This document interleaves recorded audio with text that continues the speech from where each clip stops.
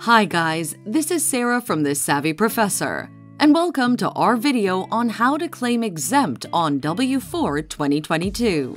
Make sure to watch until the end of the video to learn more about how to claim exempt on W-4 2022.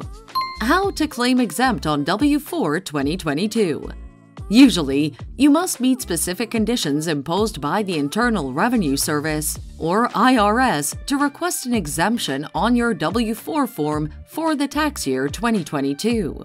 The general steps to claim exemptions on your W 4 form are as follows Get the W 4 form. You can receive a copy of the W 4 form from your employer's Human Resource Department or through the IRS website www.irs.gov. Submit your details. Complete all of the W 4 form's personal information part, which includes your filing status, address, name, and social security number. Examine the guidelines. Review the directions provided on the W 4 form thoroughly to grasp the conditions for obtaining exempt status and to verify your fit with the requirements.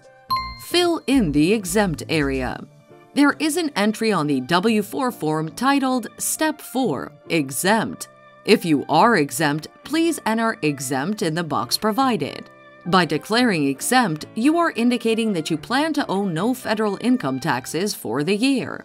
The form must be signed and dated. After you've filled out all of the required areas, including the exempt portion, sign and date the W 4 form. Send the form to your employer. Submit the filled out W 4 form to your employer's Human Resources Department to comply with their rules. They'll issue your tax withholding according to whatever data you submitted. Lastly, it's vital to understand that obtaining an exemption implies that no federal income tax will be deducted from your paycheck. Nevertheless, this exemption condition is usually available if you satisfy certain criteria. For example, you must have had no tax liability the prior year and anticipate having none this year as well. The IRS may also levy fines if you fraudulently or incorrectly claim exempt status. It's a good idea to check the IRS website, review the W 4 form guidelines, or get advice from a licensed tax advisor to ensure you fulfill the requirements for obtaining exempt status and assess if it's the most appropriate choice for you. I hope this helps. Feel free to leave a comment, like, and share the video. Till next time.